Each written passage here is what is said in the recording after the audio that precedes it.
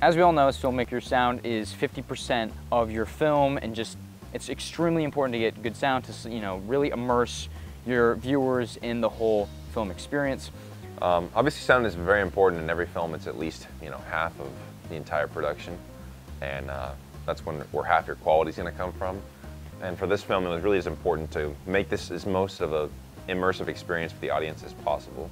Um, especially being late at night, we really wanted to get the great ambient noises that happen. And especially in this scenario of life or death, uh, just giving that really immersive sound and making the audience feel like they're right there in the car with them, especially at the beginning and uh, throughout the whole scene was, was very important.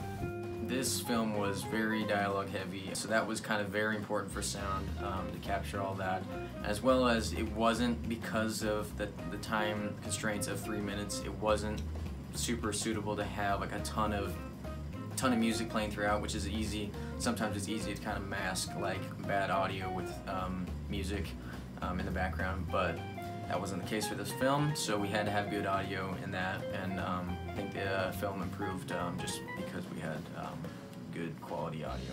As sound designer and boom operator for this film, it was imperative for me to be kind of in all kinds of positions, all kinds of weird places um, to kind of capture the audio for these characters. For example, like we had this one scene where our guy sprinting, just mad sprint um, across the forest, and I was just, I run along with the with the microphone, trying to capture that audio as well, trying to capture like the feed, but also his screams at the same time, as well as trying not to get too much wind noise or anything like that. So that was kind of a challenge, but um, trying my best to kind of get in, in all kinds of uh, all kinds of angles and everything, just to get that best pristine audio.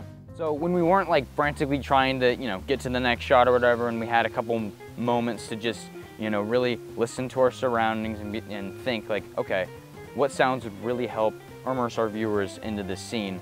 So I think aside from sound, lighting was probably the, the most important aspect to this film, or one of the most important aspects to this film. We needed a main source of light to illuminate our actors, and uh, the light from the car was just too dim and we couldn't have you know, the headlights on for eight hours. Um, just setting up the, the lights in one area, mainly just trying to simulate moonlight because we were filming at night. Just keeping the, the moonlight or the simulated moonlight consistent was really important. So really just maintaining continuity throughout this film was important, whether it's sound um, or lighting, just to prevent any inconsistencies from occurring.